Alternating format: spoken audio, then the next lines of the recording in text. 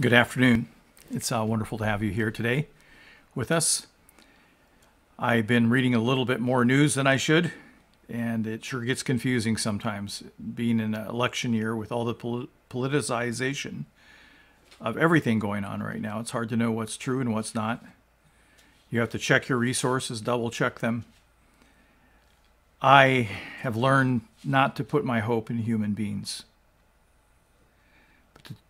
put my hope in our Lord Jesus Christ. Whatever is happening right now, what I desire, and I hope what you desire, is that God's will would be done. That whatever Jesus is purposing for and through this pandemic, that that would be accomplished. And that is word, as his word is going out now over the internet from so many pastors around the globe, there is more opportunity for people to hear the gospel now than ever before. So I just very much thank you for being here today. We're here to pray, so let's begin with prayer. Father, I just not thank you for this day. And I thank you for good friends, for family, for the body of Christ, which is even closer than blood family. Water or blood is thicker than water, but spirit is thicker than blood. Father, just I thank you for your presence with us. That we have become your temple, that our own lives, our inner beings have become the Holy of Holies, from which you make your presence known on this earth. What an awesome opportunity and responsibility and privilege that we have to have very God living within us. Father, I'm as I pray this morning, I, I get the sense of praying for those who are trying to develop a cure, Lord, or at least a vaccine. I hear even so many conflicting reports about this that one won't be found ever, that it'll take years to find, that it's going to be in July, that it's going to be not till yet next year. There's a cacophony of voices out there, Lord. And so oftentimes the cacophony of voices, in that cacophony, in that din of voices, we don't know what motivates people for why they do things and why they say things. And so, Father, I just I pray that you would give us this spiritual discernment and understanding from your Spirit.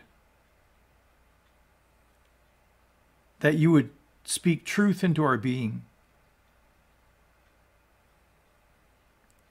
What's important in all of this is that we keep our eyes focused on you. So, whatever the case, I just pray for these researchers, Lord, for the scientists, for the epidemiologists, for those working so hard to find a cure or a treatment or a medication or a vaccine that will be effective in stopping this pandemic. We pray that you would give them spiritual wisdom and understanding, that you would give them answers, that you would open up their minds to understand how this virus works and how it can be combated and even stopped, Lord. At the same time, our request, Lord, is that you would bring this pandemic quickly to an end, that you would restore economies, that you would comfort the, li- the lives of all those who have lost loved ones around the planet. Father, I pray that you would help us not to grow cynical, I look at the numbers every day and they just seem to be growing numbers, but these are individual people whose lives have been shattered, whose families' lives have been shattered by this pandemic. Father, just pray for clarity, for wisdom, for discernment in how we should go about living. I pray for clarity, discernment, wisdom, spiritual wisdom, and understanding to know when to open our churches when to proceed, when to return to life as normal. I don't think there's going to be life as normal, Lord. You have, in a sense, blessed us with this pandemic in, in many regards. Blessed us with getting the word out in, in a way that's never been done before. Thank you that our church has been able to move to live streaming and that we will not stop live streaming after this. I thank you that you have put families back together, that children are spending time with their mom and dad, that mom and dad are learning how difficult it is to train these children. And I pray that you would give them understanding hearts when, at long last, the children are able to return to school. Father, forgive us. We have inculcated, we have absorbed, we have swallowed whole this lie that rebellion is a value. We are a rebellious lot in our nation, Lord. It's infected all of us. We resist your Holy Spirit. We resist your truth. We certainly resist your law because no one can live under it. Help us to put away our rebellion, Lord as a nation, as a people, as individuals, Lord. That rebellion in certain circumstances is valued, but we have turned it into one of our chief values, Lord.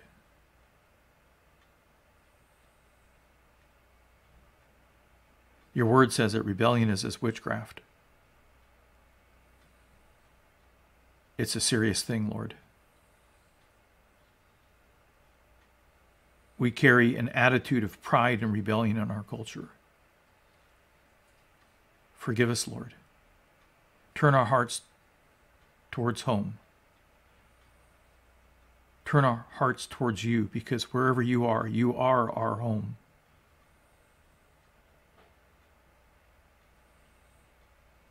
And again, I lift up the scientists and researchers and epidemiologists that you would give them clear direction and that they would be able to find a solution to this. But beyond that, again, we pray take this cup of this pandemic from us. Yet we don't want to get in the way of any work you're doing through it or by it.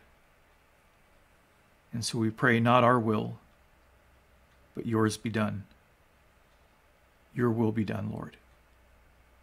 That's our heart's cry. Your kingdom come. Your will be done on this tired old planet as it's being carried out in heaven. I pray this in Jesus' name. Amen. Well, again, thank you for joining me today. Today is Thursday, so I won't be um, coming back tomorrow. We have an annual meeting on Sunday at 1 p.m., so I will be preparing for that. We have a long document that I prepare every year with the help of our ministry team leaders and so on. So I um, really have appreciated your spending time with us each week. We're cutting it down to two a week now, Wednesdays and Thursdays. And then starting next Thursday, we'll be doing our evening Bible study, uh, covenant group Bible study, and we're on a Bible study called The Discipleship of Grace. It's one that I'm writing, but the group of people who gather with me have been helping to edit it and and question it and tailor it and tell me when I got it off or, or wrong. And we've been having a good time together. So we are on unit three of this discipleship of grace entitled The Descent of Man. And we're on a chapter from uh, Abraham to the 12 brothers. And so we're right in the middle of, of looking at the story of the 12 brothers, Jacob's sons. So I encourage you to come. It starts at 7 p.m. If you're interested in, uh, you can Facebook message me, you can call me, or you can email me. I have lots of emails, and I will give you the link to it. Uh, we are going to have a join meeting. You have to wait in the waiting room to join because uh, churches have been getting getting hit with uh, they're getting hacked and then slammed with pornography during their meetings. So we're going to be very careful not to let that happen to us. So again, thanks for coming today. We're reading Psalm 27. I love this psalm. I have the first verse of it up up on a picture on my in my bathroom. So every day I see this. Um, Again, it's a Psalm of David. I'll be reading from the New American Standard Bible. Psalm 27. The Lord is my light and my salvation. Whom shall I fear? The Lord is the defense of my life. Whom shall I dread? When evildoers come upon me to devour my flesh, my adversaries and my enem- enemies, they stumbled and fell. Though a host encamp against me, my heart will not fear.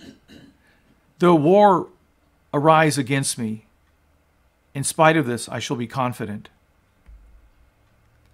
One thing I have asked from the Lord that I shall seek, that I may dwell in the house of the Lord all the days of my life, to behold the beauty of the Lord and to meditate in his temple.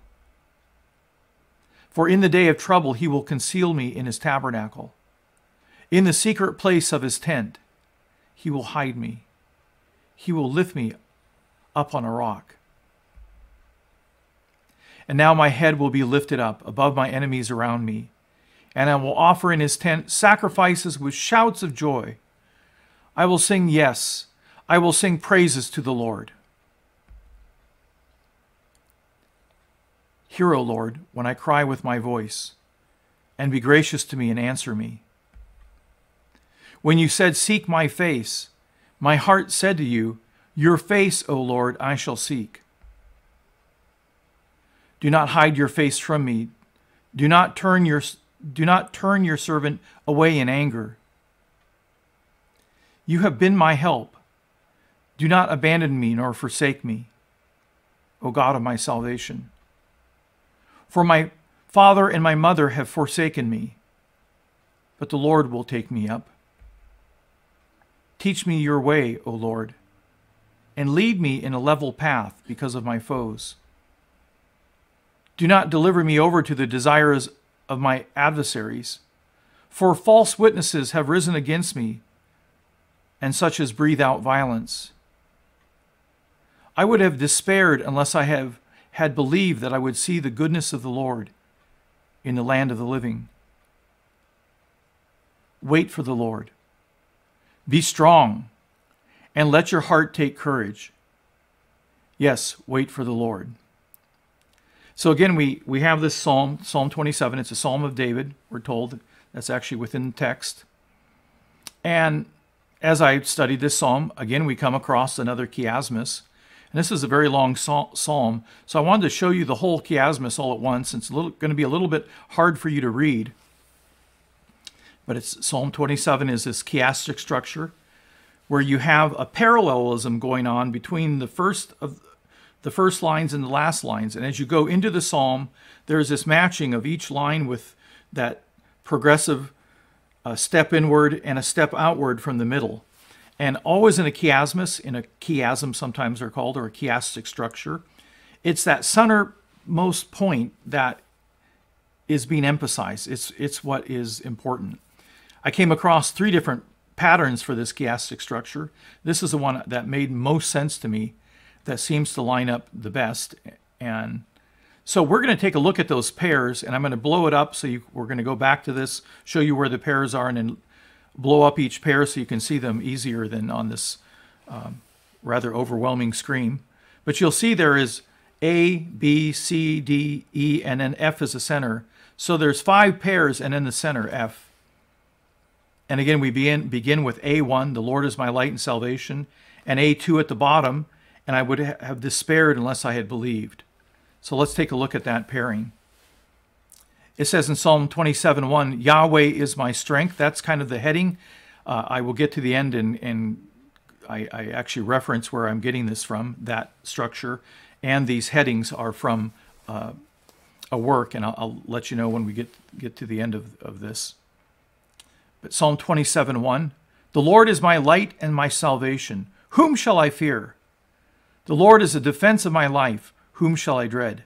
Again, David finds himself with an opposing enemy, likely an army or a group of people. It might be Saul. It might some people think it's Absalom and the armies of Israel coming against David. We're not told. So I always say don't speculate. Don't base what we believe about the Bible on speculation.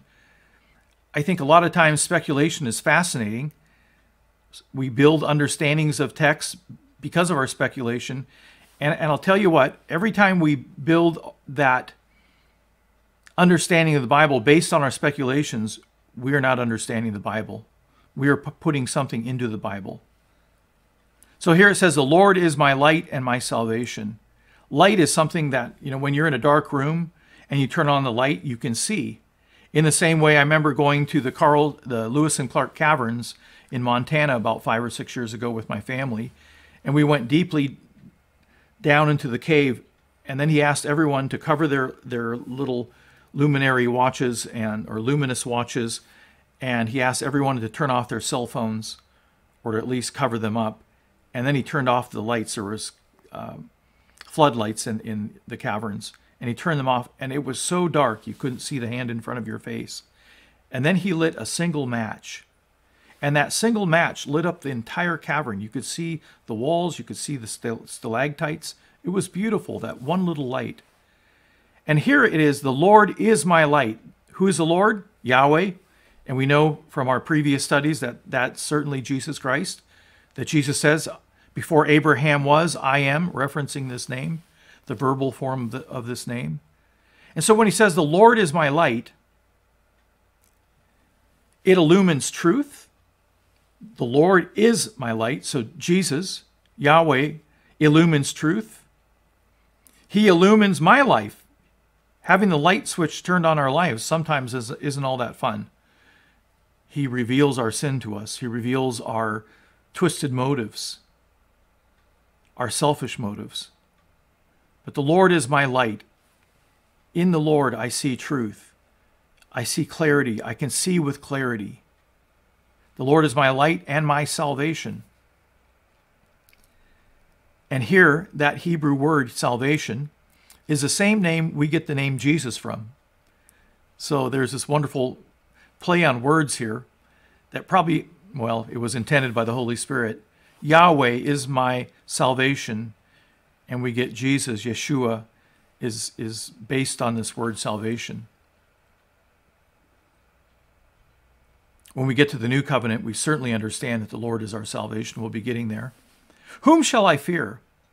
If he's my light, if he brings clarity to my thinking, if he exposes my sin, if he leads me into all truth, and he is my salvation, he's going to deliver me from my enemies. That's the context that word salvation always has so many words in in in both the Hebrew and Greek languages have a literal meaning and then they have figurative meanings.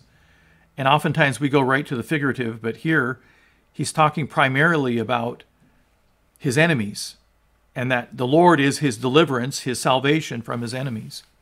But it can also certainly spill over into that figurative meaning when we're talking about salvation from death, from sin, from the devil, from our flesh, whom shall I fear? Sometimes the person I fear the most in my, in my life is myself because I know how fickle I am. And I suspect that you know how fickle you can be if you're really honest about it. The Lord is the defense of my life. So oftentimes we, we seek to be the defense of our own lives. We think it's up to us. And I love this Jesus is the defense of my life. Jesus is the defense of your life. Whom shall I dread? I hear these words echoed in If God is for us, then who can be against us? Such positive, positive declarations from David. The Lord is my light and my salvation. Whom shall I fear? The Lord is the defense of my life. Whom shall I dread? And then we see the counterpart in this chiasmus in the last two verses. They don't always line up in the length of things. Sometimes they're very short, lined up with a very long segment. Psalm 27, verses 13 and 14 says, I would have despaired un- unless I had believed that I would see the goodness of the Lord in the land of the living. As David goes into battle or is potentially going into the to battle, he would have despaired because of his, of his enemy was formidable, especially it was Absalom and all the troops of Israel. Absalom had won over the hearts of the Israelites and then amassed the, troops of Israel to come against David with his 600 or so men or 1,000 men. I don't remember exact number. That may be the case. It could have been a foreign nation coming against them. We don't really know. I would have despaired unless I had believed that I would see the goodness of the Lord in the land of the living. So he's not talking about eternal life here. He's talking about temporal life. If he if he thought that he was going to go into battle and be killed, that's a despairing thought. Now he believed that the Lord would bring him through this battle. Wait for the Lord. Be strong and let your heart take courage. Yes, wait for the Lord. In the above section, he says, The Lord is my light, my salvation. Whom shall I fear? And the heading given it is Yahweh is my strength. And at the end we say we see be strong. The Lord is my defense, he's my strength of my life. And then that command to be strong and, and let your heart take courage. This is a command that we see going all the way back into Deuteronomy. Be strong and courageous. Joshua commands the Israelites to be strong and courageous right before they enter the promised land and start having to do battles with those idolatrous nations. So the, the outer parentheses of this psalm is find your strength in God and then be strong by waiting on the Lord. That's something we're not good at. We, we're not good at waiting on the Lord.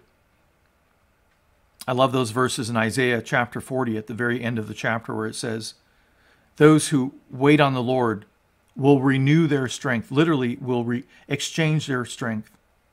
They will mount up or they will soar on wings like eagles. They will run and not grow weary. They will walk and not be faint if we wait on the Lord and exchange our weakness for his strength. We move on to, in the chiasmus, to B1 and B2. You'll see that structure there. When evildoers come upon me to devour my flesh, and do not deliver me over to the desires of my adversary. So we see this focus on the enemy. Let's take a look closer look at that. Psalm 27, verses 2 and 3. When evildoers came upon me to devour my flesh, my adversaries and my enemies, they stumbled and fell. The interesting thing about those words there is the, the tense of the verb actually suggests that this is yet to be future, and yet David is counting it as past. Though a host encamp against me, my heart will not fear. So now he's getting it that this host is, is uh, camping around him. Though war arise against me, in spite of this, I shall be confident. Such words of confidence run through these first six verses of Psalm 27. You notice that change. I changed the background because there's this complete change of tone starting in verse 7. We'll see that coming up. And in verse 20 or chapter 27, Psalm 27 verse 12, my do not deliver me over to the desire of my adversaries. This is a request. For false witnesses have risen against me, and such as breathe out violence. So why is if if David is king, why is he worried about false witnesses? Because those witnesses may very well be going to God and saying, David did this or David is accused of this. And those false witnesses are, at least if this is Absalom, going to the nation of Israel in lying to Israel about David. In our day, our adversaries aren't so pronounced. Yeah, we have adversaries, especially if you're in the military. You have truly enemy enemies who are trying to take your life and work against you and undermine our nation and destroy our nation. But in our sense, our, our enemies are unseen enemies. Right now, this pandemic, this little virus is our enemy. I love that prayer. Do not deliver me over to the desires of my adversaries. Do not deliver me over to the desires of Satan and his cohorts. For false witnesses have arisen against us, the accuser of the brethren, and such as breathe out violence. Again, you'll see on the upper section, verses 2 and 3, the heading given, My adversaries. Verse 12, you can see clearly it's my adversaries, so you see the parallel, parallelism between these two texts. And then moving further into the psalm, we see See one, One thing I've asked from the Lord that I, that I shall seek, that I may dwell in the house of the Lord. And see to. teach me your way, O Lord, and lead me in a level path because of my foes. So there's this request in, in both sections, these parallel uh, sections of the chiasmus of Psalm 24 or Psalm 27. Sometimes I get mixed up. Yesterday I said Psalm 10 and it was Psalm 26. Such is my mind. Psalm 27 4 reads, One thing I've asked from the Lord, that I shall seek, that I may dwell in the house of the Lord all the days of my life, to behold the beauty of the Lord and to meditate in his temple. And because of that word temple there, some people put this then later in the life of Judah, near the end of the era of, or the reign of Judah, that, that the southern country, which collapsed and was taken into exile in 586 BC. But that tent that had been erected in Jerusalem for the Ark of the Covenant, it wasn't the original tent of meeting as I explained yesterday, but it was a tent where they have a, an altar and a laver, and they had the table of showbread inside of it and so on. That was called the temple sometimes. And later on, you'll see that he talks about this tent.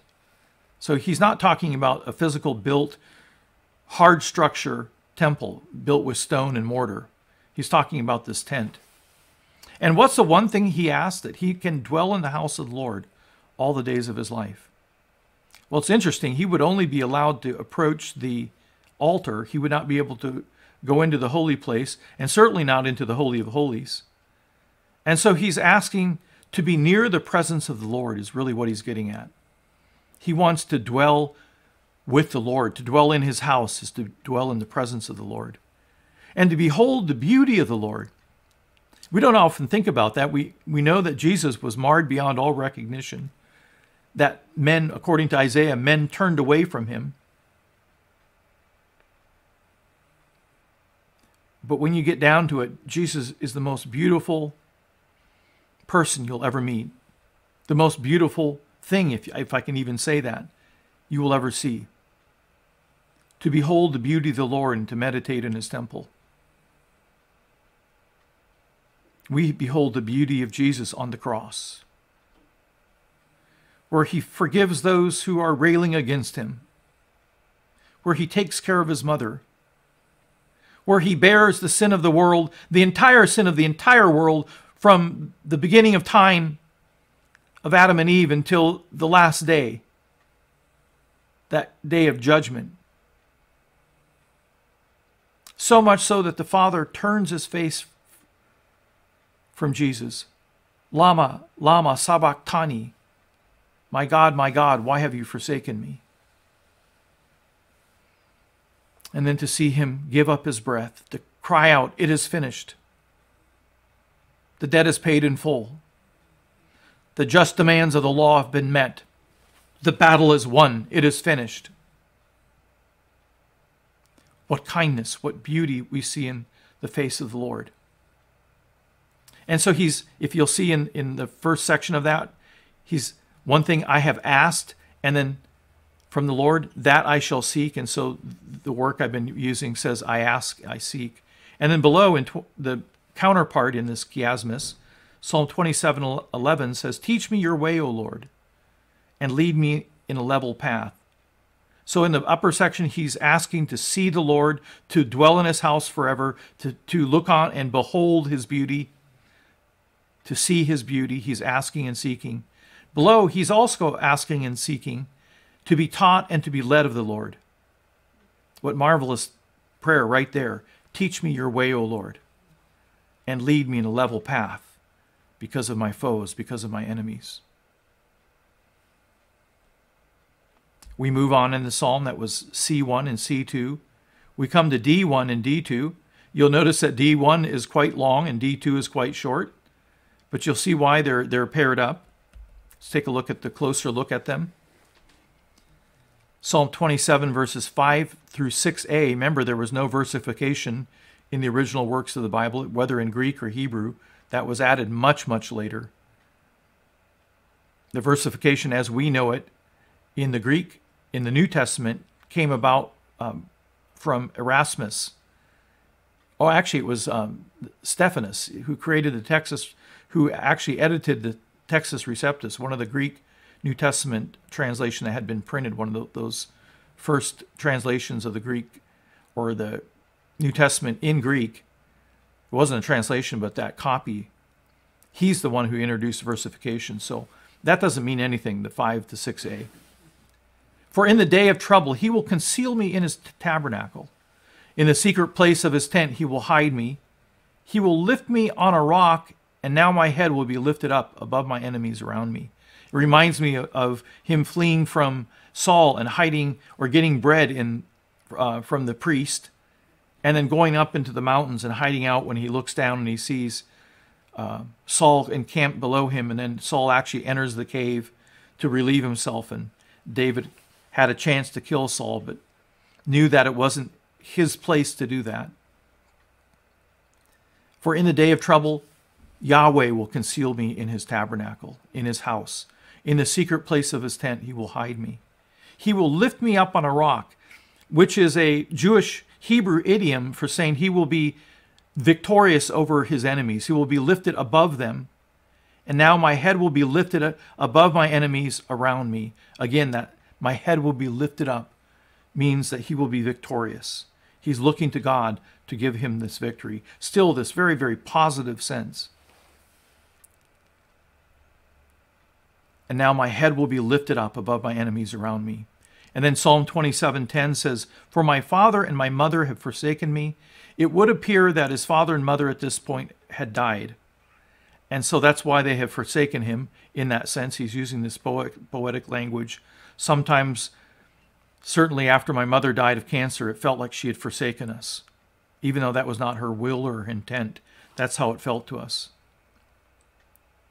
There's no evidence that they had turned their backs on David at any time. This is likely a way of poetically describing their death. But the Lord will take me up.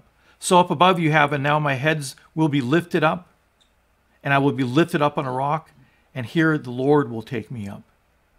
And so he's the lifter of our heads. He's the lifter of our souls out of trouble.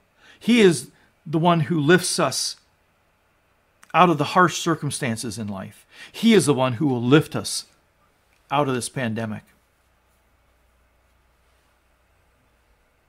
And again, you'll see in Psalm 27, the heading 5 and 6a, those verses, that work I'm using says he will lift me up. And in Psalm 27:10, Yahweh will take me up. You see that parallel thought going on in, in the chiasmus. Then we return to that overall structure. We're getting near the middle now. E1 and E2, and I will offer up in his tent sacrifices with shouts of joy. And E2 says, Do not hide your face from me. Do not turn uh, your servant away in anger. They, they don't sound too much alike, but let's take a look closer look. Psalm 27, 6b to verse 7 has three positive peti- petitions in it. And I will offer in his tent sacrifices with shouts of joy. And this is upon the completion of the battle. The battle hasn't happened yet. He's encamped around by his enemies. But he says, When you give me victory, Lord, I will sing praises in your tent. Again, that tent of meeting, except for not the original one, but the one he had erected in Jerusalem and I will offer in his tent sacrifices with shouts of joy. I will sing, yes, I will sing praises to the Lord. And then here comes these three petitions, these three re- requests of David, these three prayers, if you will. Hear, O Lord, when I cry with my voice. So he's asking to be heard. Two, and be gracious to me. Show your favor to me. Give me your grace. And three, and answer me, hear my prayers. Then we jump down to 27 9. We have three negative petitions. And so we have three petitions, three requests, and three negative petitions, which means don't do this, and don't do that, and don't do this third thing. And so the first one is do not hide your face from me. And that goes in line with, Hear, O Lord, when I cry with my voice if God hides his face from him or turns his face from him, to hide your face is to mean that God is turned, turned in such a way that he's not going to hear David. And so David cries out, Hear, O Lord, when I cry with my voice. Do not hide your face from me. Hear me.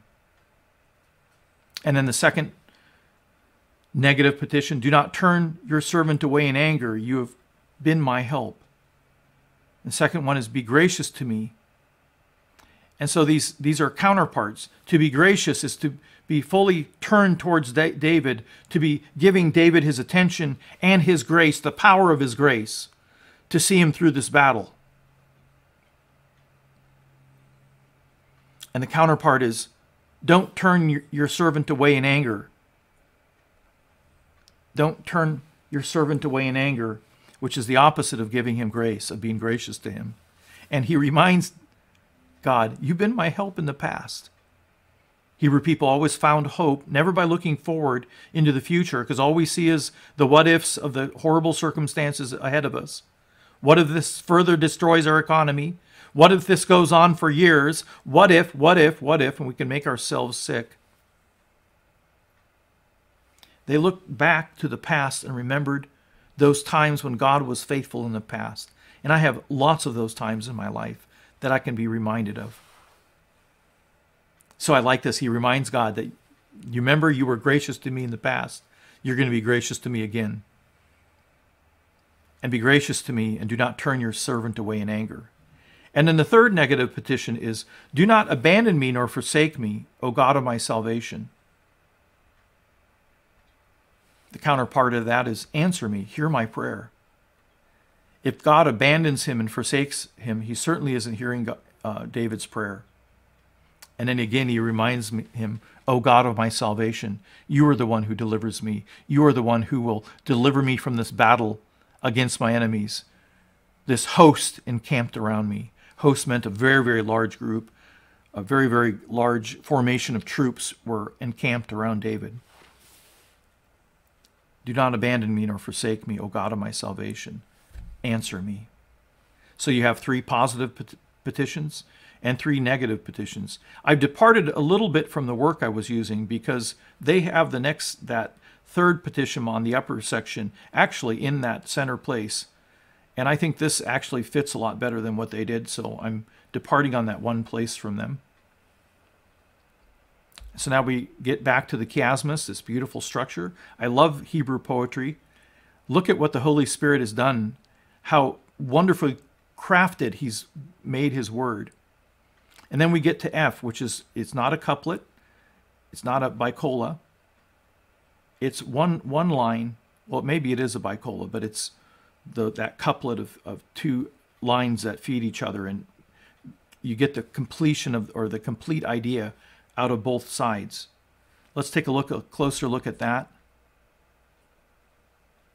When you said, Seek my face, my heart said to you, Your face, O Lord, I shall seek. So there is that couplet there. It begins with God has told David in the midst of this battle, Seek my face.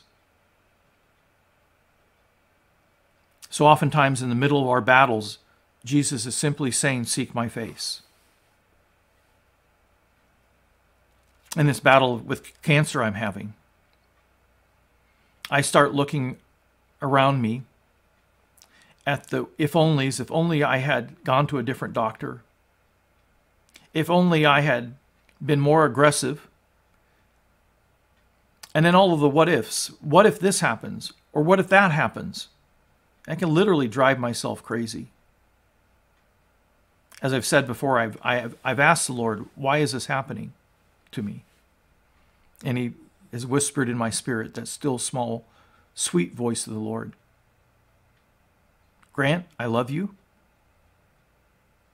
Just trust me. Again, a couple months later, I ask again, Lord, why, why are, is all this happening? Why, why are you allowing this? And again, his still, sweet voice in my spirit Grant, I love you. Just trust me. Sometimes we don't need to know what's ahead. He's just asking us to seek his face, to seek his beauty, to seek who he is in his character to seek the wonder of who Jesus is, the wonder of the love of God, the wonder of life in His Spirit. This is the heart of this psalm. is to seek God's face. I love in John 14, I think it's 7, when Jesus says, Have you been with me so long you, you don't know the Father? When you see, have seen me, you have seen the Father. In the mystery of the Trinity, Jesus is saying that I am an exact representation of the Father. When you see my nature, when you see my character, when you see what I'm going to do for you on the cross, you've seen the heart of the Father. You've seen the Father. So get this when we see Jesus, we're seeing God the Father in the mystery of the Trinity. When you said, Seek my face, my heart said to you, and that's his inner being, not his emotions. Hebrew people always thought of heart, it was literally their kidneys, thought to be the seat of their, and their heart, those two areas were thought to be the seat of their thinking. My heart said to you, Your face, O Lord, your face, O Yahweh, and unbeknownst to David, but it's your face, O Jesus, I shall seek. Even this I need strength, I need help from the Lord to do this. I can't do it in of myself. Neither can you. Remember that verse I quoted yesterday? I am the vine, you are the branches. That means a branch has to be in the vine to get the vine life coming through it. If you get separated from the from the vine, then that branch just dies. It shrivels up and dies. Our life shrivels up when we rely on ourselves for life. I am the vine, you are the branches.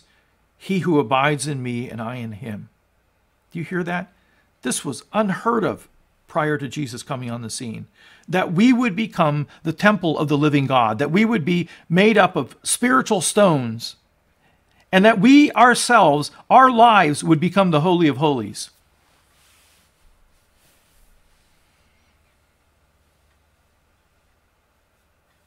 Your face, O Lord, I shall seek. To be in the presence of the Lord. That's what he's saying. To see one's face. You know, I love to sit with Nancy. We haven't been able to do this in a while, but we had a date night every Friday night. And we'd go out to a restaurant and have a meal together and sit face to face and just talk. Oh, how I love her.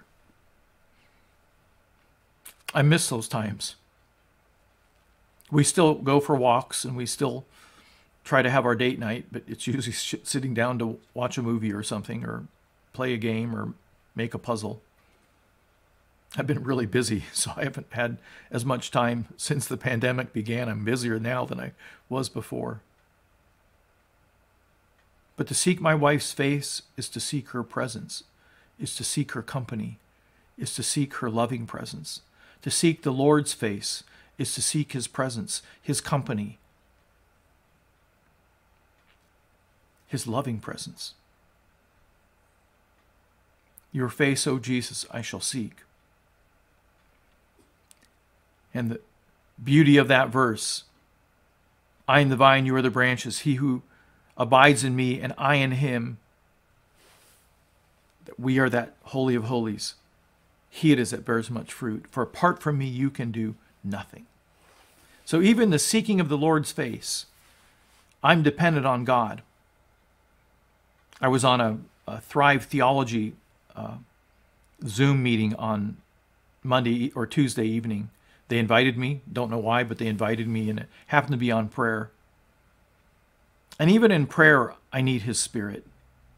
So oftentimes we, we rely on ourselves for things we don't need to rely on ourselves in. I can pray for His Spirit at any time. And even in my seeking the Lord, I can pray for His Spirit to pervade, to fill my life, that I may seek the Lord out of the power of the Holy Spirit. We learn to grow in our dependence upon the presence and the power of the Holy Spirit. There's never a time that you cannot ask the Holy Spirit to fill your life. I love those words in Luke 11 that says, If you who are evil know how to give good gifts to your children, we're not going to give them a snake if they ask for a loaf of bread, that, that whole passage. If you who are evil, you and I, if you who are evil know how to give good gifts to your children, how much more, how much more will the Heavenly Father give the Holy Spirit to those who ask? Keep asking, you'll receive. Keep seeking and you will find. keep knocking and the door will be answered to you. That isn't for all of our requests. And, you know, one time we wore God down with asking for a, uh, a van. We got a van. What that is getting at, we keep asking for the Holy Spirit. We keep seeking the Holy Spirit. We keep knocking that the door that the doors that the Holy Spirit desired to be open will be open to us. How much more will your heavenly Father give the Holy Spirit to those who ask? So even in my seeking the Lord, even my seeking Jesus and the Father, I can pray for the infilling of the Spirit so that I can seek Him out of spiritual strength and not out of fleshly strength. We so struggle because we seek Him out of our own abilities, out of our own capacities, not realizing that in Romans it says, No one seeks me, no one understands.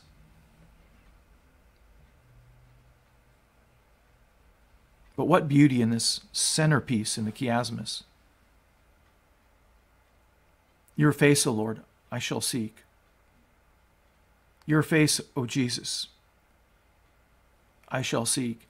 In the midst of this pandemic, where are we setting our eyes? On politics? On conspiracy theories? On which side is telling the truth uh, in all the different sides? On my own means to get me through? We need to be wise. Don't get me wrong.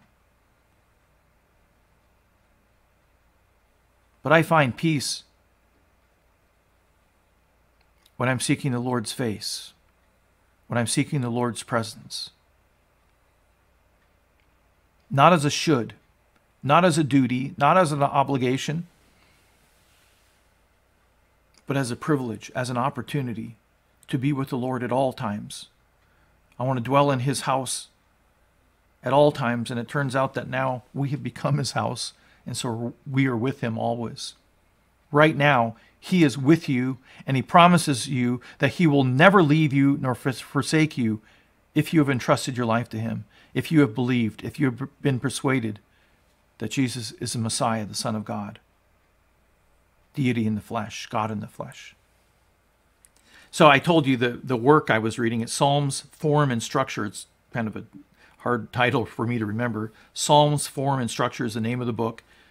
And we have different contributors to it David Witthoff, Chris Lyle, Matt Nerd, Nerdahl, Jimmy Parks, Elliot Ritzema, and the editor is Eli Evans. I just wanted to say thank you to them because they've done a marvelous job in this. It's kind of a technical work, but it gives a clear pictorial view of the structure of everything in the Psalms, of all the Psalms. So I, have been leaning heavily on this work and on some other works as well but they're responsible for the title and they're responsible for that chiastic structure.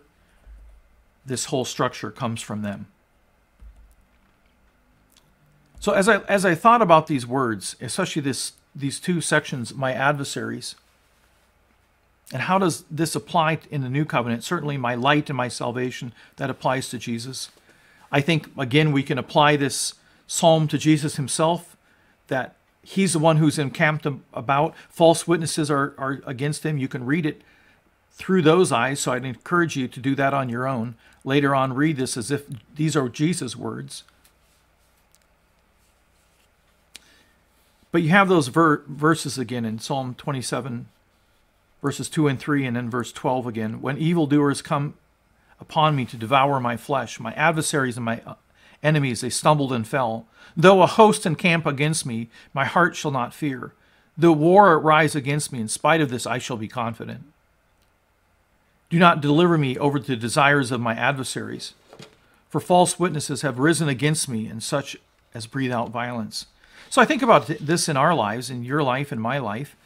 We don't have, unless you're in the military, some of you are, and this would be very apropos for you. This is what you are sometimes facing. But for those of us here, we do have a very real and formidable enemy. According to Scripture, he's been de-armed. He's been all of his arm, his arms, his weapons have been taken away. All he's left with is ability, his ability to deceive us.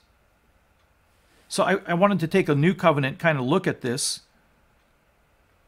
by reading Ephesians 6 10 through 24. You'll see a lot of the same kind of be strong and courageous language in this. And I think these words take Psalm 27 and apply it directly to us in the midst of this pandemic, but also in the midst of the spiritual attack. For the last five or six years, I've been focusing on evangelism, learning how to do it, praying for the gift of evangelism, and I'm learning a lot about it and, and how to proceed with prayer, prayer and evangelism. But I'll tell you this when you start setting your your interests and your activity on evangelism, you're going to get a huge target painted on your back. So Ephesians 6, 10 through 24, reading again from the New American Standard Bible. Finally, be strong in the Lord in the strength of his might. Notice what it doesn't say. Finally, be strong in yourself and in the strength of your might. It doesn't say that at all. For apart from me, you can do nothing. Not that we are adequate in ourselves to consider anything as coming from ourselves. Our adequacy is from God. Finally, be strong in the Lord. And again, that word Lord is, is borrowing on the use of Lord from the Old Testament, the Hebrew scriptures. Anytime they came across the name Yahweh, they would read Adonai, or in the Greek Septuagint, they would read Kyrios, the word for Lord, so as not to profane this forever name of God, this holy name of God. So this is talking about Jesus, Yahweh. Finally, be strong in the Lord, in Jesus, and in the strength of his might, in the strength of his power. We have this treasure of the ministry of the Spirit. We have this treasure of the risen Christ in earthen vessels, sometimes in cracked pots, to show that this transcendent power belongs to God and not to us. Be strong, finally, be strong in the Lord and in the strength of His might. So oftentimes I've looked to myself, I've looked to my own strength, my own ability, my own effort, my own striving. This is a command here to us to be strong in the strength of God's power. And that word there is the word we get dynamite from. It's incredible power, the power that created the universe, the power that raised Jesus from the dead. And then a further command put on the full armor of God so that you will be able to stand against the schemes, against the methods, against the plan of, of attack of the devil. So he's not just passive in our lives as Christians. One of the first things he's trying to do is rob you of your witness, just as he soiled David's witness, as we saw yesterday, with it with the Bathsheba Uriah debacle. He he takes ministers out by getting them to fall by soil, soiling their witness. And it's so easy. We get, we get hung up on our own pride and our ego, thinking, man, we're God's gift to the world, and that pride leads us into falls. Sounds scriptural, doesn't it? Put on the full armor of God so that you will be able to stand firm against the, the methodologies, the schemes of the devil. That tells us that he has a purpose plan of attack on the church. He has a purpose plan of attack on your family. He has a purpose plan of attack on your life as a Christian. For our struggle is not against flesh and blood. Now he's clearing it up. Our enemies aren't, unless you're in the military, which then you have real enemies and you have to you have to do your job and take care of those enemies. It's a difficult job. Not one I've had to do. I can't imagine what it's like, the pain of it. Thank you for those of you who are doing that on our behalf. But the real struggle, for our struggle is not against flesh and blood. The real enemy is not other human beings, but against rulers, against the powers, against the world forces of this darkness, against the spiritual forces of, wickedness in the heavenly places. And so you'll see a hierarchy here. It begins with just rulers. They seem to be territorial rulers against the powers, and you, you, you're going up a notch. against the world forces. Now we're talking about demonic forces that rule whole parts of the world, and then against spiritual forces of wickedness in the heavenly places to the top echelon. Some people have tried to figure out the organization of Satan's army out of this these verses. I don't think that's what it's telling us. It's telling us there are these distinct levels of authority within Satan's kingdom. But what it's telling us is that his army is organized and well stratified under the command of Satan in this attack on us. It's well thought out. Sometimes I, I wonder if, if I've contracted cancer because of moving in closer and closer to being evangelistic and to sharing the gospel. So the enemy is trying to take me out.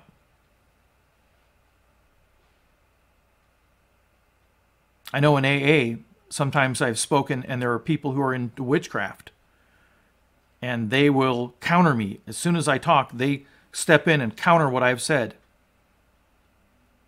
And I wonder what they've, well, maybe that's getting conspiratorial. No, this battle is real.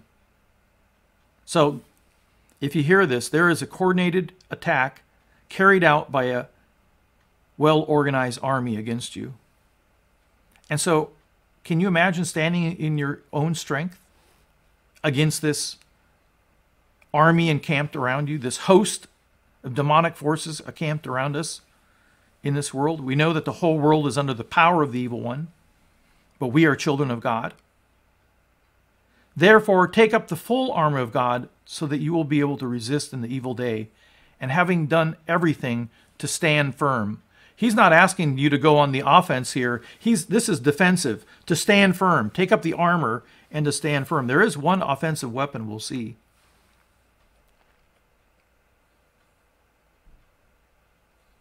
And then what's this armor? Let me just remind you, be strong in the Lord and the strength of his might in this battle against this spiritual enemy that we face.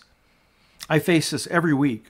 Saturday night, Friday night, I start getting attacked in my mind. He brings back old memories. He accuses me. He says I'm don't know what I'm doing.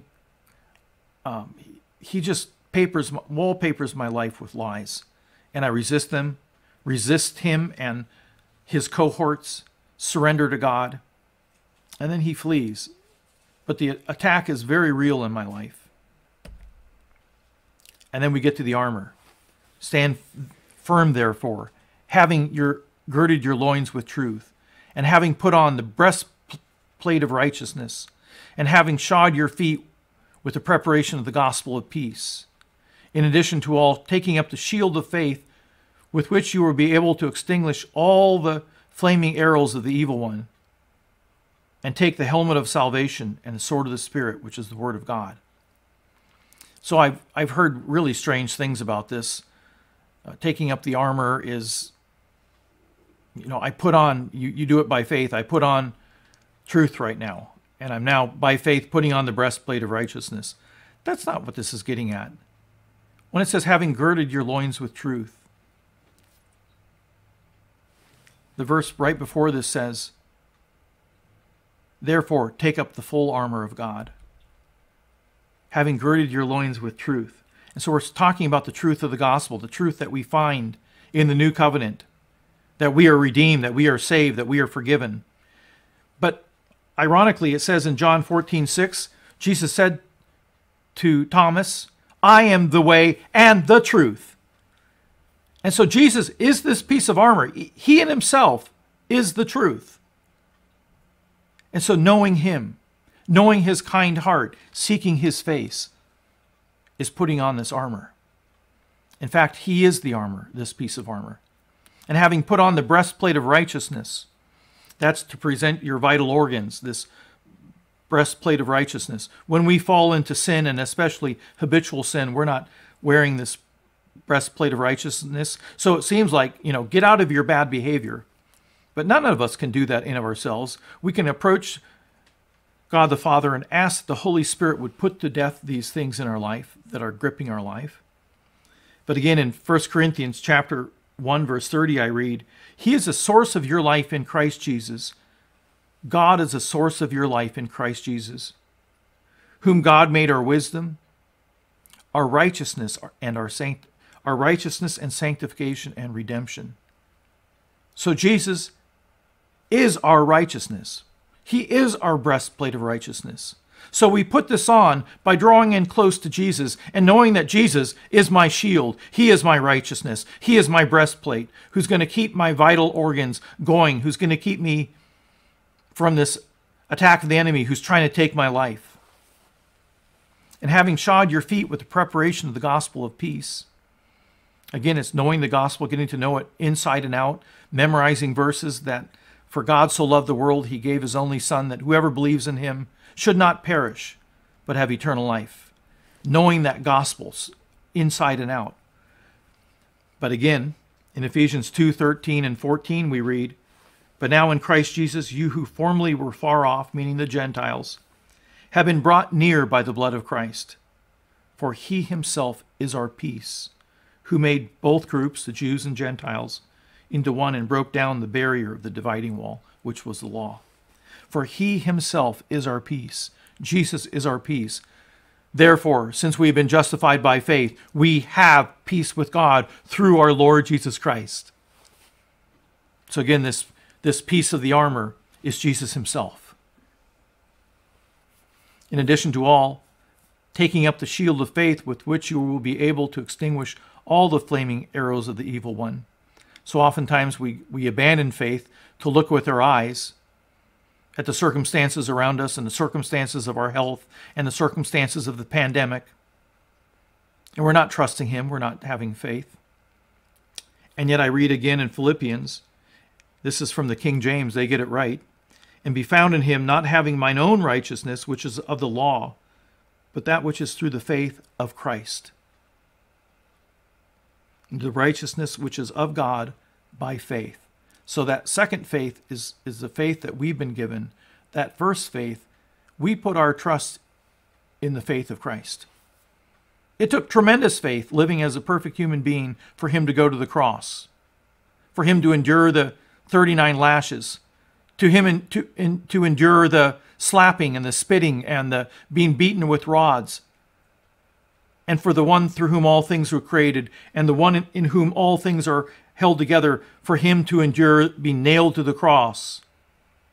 That took tremendous faith on the part of Jesus. And then in that last moment, when he cries out, It is finished, and he bows his head and he gives up his spirit, he willingly gives up his life. No one takes his life from him. He lays it down on his own initiative. He gives up his spirit. He willingly gives himself over to death. What faith did that take on Jesus' part?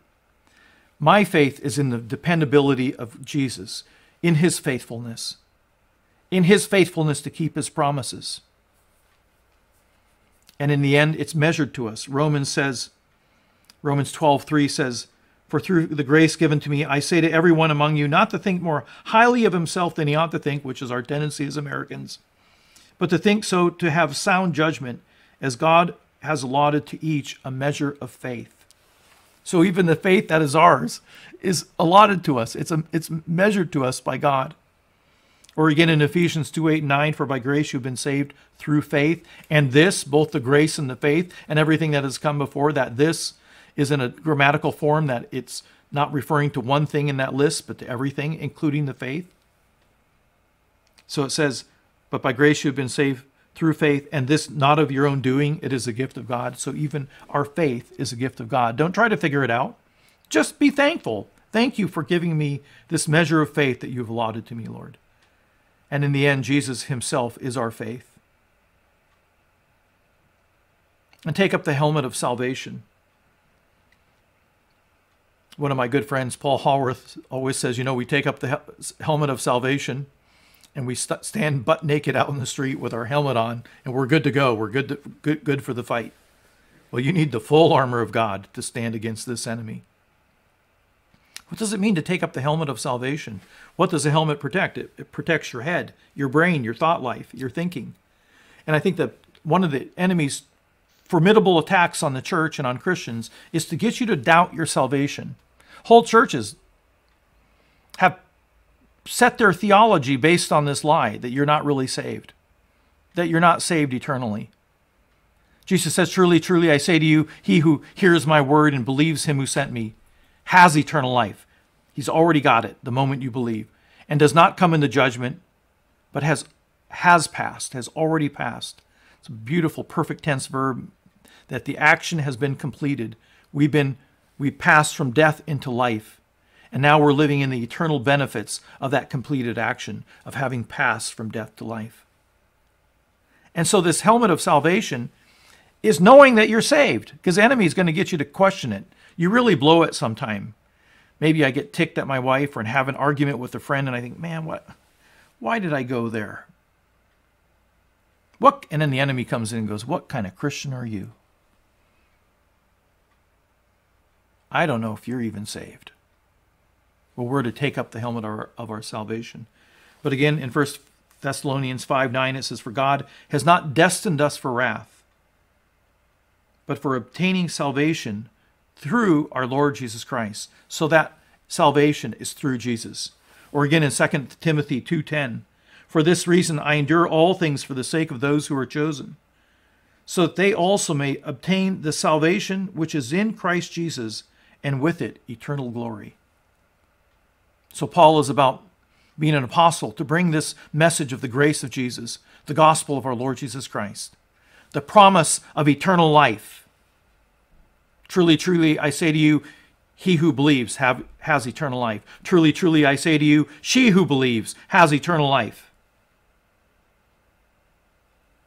The salvation which is in Christ Jesus the Lord. So, even the salvation, this helmet of salvation, is what Jesus has done himself for us. It's not something that you do. And in the sword of the Spirit, which is, is the Word of God. And yet, in the beginning of John chapter 1, in the beginning was the Word, and the Word was with God, and the Word was God. And so that written Word always is meant to lead us to the living Word, to reveal Jesus to us. So herein you see that in the end, it's Jesus Himself, it's Yahweh. He is our armor. And you put Him on by looking to Him, by focusing on Him. You can't create righteousness in, your, in yourself. You can't think yourself into truth. We certainly can read the Bible, but even that we need that indwelling presence of the Holy Spirit illuminating our understanding. We look to Jesus. And so now we go back to our psalm. Oh, a little bit more. We're going to skip that. You can read that later, uh, verses 18 through 20. Psalm 27, verse 8. When you said, Seek my face, my heart said to you, O Lord, or your face, O Lord, I shall seek. That's putting on the armor of God, keeping our focus riveted on Jesus Christ. What words for this pandemic? I try to stay away from listening to the news because it gets my focus on the wrong things. I do look at the numbers and look at a variety of resources for the numbers to make sure I'm getting accurate numbers to see if this is getting better or not because it, it makes a difference for when we open our church. But in the midst of this, the call is, Your face, O Lord, we shall seek. To seek that tender, loving presence of Jesus in our lives, to remember that He is the truth, that He is our righteousness, that He Himself is our peace, that it's His faith, His dependability in which I put my trust, His faithfulness to keep His promises. And He Himself is our salvation by what He did on the cross. And lastly, He is the one who brings me, who fights my battles because He is the Word of God. Jesus said, My words, they are spirit and they are life. So if you get anything out of this talk today, aside from knowing that Jesus is your armor, how do you put on that armor? Your face, O Lord, I shall seek, and even in this, Fill me with your Holy Spirit so that I will be seeking you out of your strength and not mine. Your face, O Lord. Your face, O Yahweh. Your face, O Jesus, I shall seek. Amen. Well, thank you again for joining me today. I really appreciate the time you take out of your day to spend with me. I have no time limit on, on when I do these things. I, I talk until I'm done. Hopefully, I talk until the Holy Spirit is done. That's better. Uh, let's close in prayer. Father, again, I just thank you for this psalm. That you are my light, you are our light, and you are our salvation. And Father, help us to seek your face. Give us the power by your Holy Spirit. Strengthen us in our inner being by the power of the Holy Spirit, so that Christ may dwell in our heart through faith, and that we, being rooted and grounded in love, that love that we see in the face of Jesus on the cross, that we would know how wide and long and high and deep is the love of Christ, and to know this love that surpasses knowledge, that we might be filled up with the fullness of God. We pray for spiritual power for three things, Lord that you might dwell in our heart through our trusting you, that you would open up to us the immeasurable boundaries, the boundaryless boundaries of the love of Christ, which goes beyond what we can even know of it, and that you would empower us through the Holy Spirit intervene so that we may be filled up with the fullness of God. We give you praise for David, Lord, for penning those words, which also apply to our Lord Jesus Christ. Help us, each one of us, to take up the full armor of God, to be strong in your strength, not in our own, to look to you, to keep our eyes riveted on you. And when our eyes stray and wander, Lord, you bring us back to that tender place, to that gentle place of being in your presence, of seeking your face. And I pray this in Jesus' name. Amen. Well, once again, thank you for coming. I won't be back tomorrow. I'm going to be preparing for our annual meeting. We will be back on Sunday at 11 a.m. for my final uh, sermon on our Second Corinthians series. So I hope you can join me for that at, at 11. And then again at 1 p.m. on that same day, we'll be having our church's annual congregational business meeting. Once again, thank you for taking the time out of your day. Our benediction, our blessing, is found in the continuation of the prayer I prayed out of Ephesians. Now, to him who is able to do far more abundantly beyond all that we ask or think, according to the power that works within us, to him be the glory in the church and in Christ Jesus to all generations, forever and ever. Amen. To him be the glory. To you, Lord, be the glory. Amen.